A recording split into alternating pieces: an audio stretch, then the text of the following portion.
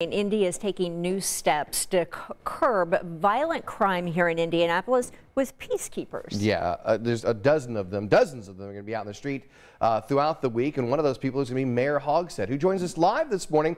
He's with our Karen Campbell right now talking about the initiative. Karen?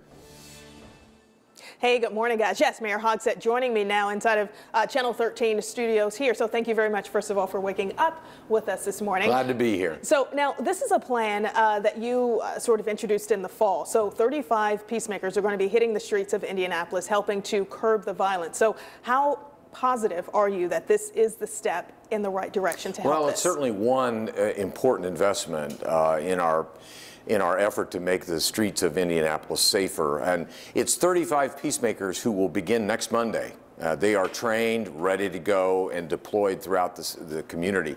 Hopefully, by the summer, we'll have more than 50 peacemakers uh, deployed throughout the city. And the, their responsibilities are, in essence, to reduce and intervene before violence occurs. Uh, and what they will do is help people who are either likely to become victims of gun violence or are likely perpetrators of gun violence. And so this is an important step uh, for our community to take to try to prevent the violence from happening before it happens.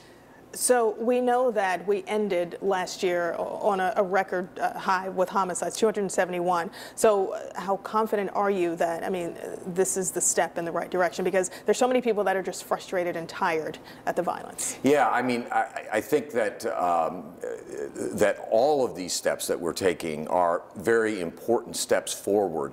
Not just adding 50 peacemakers who will be deployed throughout the community. We're going to be adding 100 police officers. We're investing $9 million into modern police technology. We've uh, allocated $30 million for mental health services throughout the community. And then, of course, the $45 million that over the next three years we will be investing in community oriented, neighborhood based uh, anti violence crime reduction efforts. And I think comprehensively, uh, in the short term and over the long term, it will make a difference. Right, so three years, whose idea was that? Is that just based on the, the, the federal allocation of funding? That's right. Uh, okay. Uh, one of the things that the American Rescue Plan allows us to do is use the federal uh, monies over a three-year period of time. If you'll remember, during the COVID crisis, when we uh, got the CARES Act funding, had to be spent in one year. Now we have three years to invest, and I think it'll make a profound difference in the city of Indianapolis. All right, so goals to look forward to as we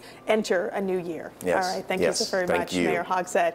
All right, so you heard it first. Uh, these 35 peacemakers will hit the streets next Monday, and again, an additional 15. They will be trained as well to eventually join the other 35 peacemakers. Guys, back to you.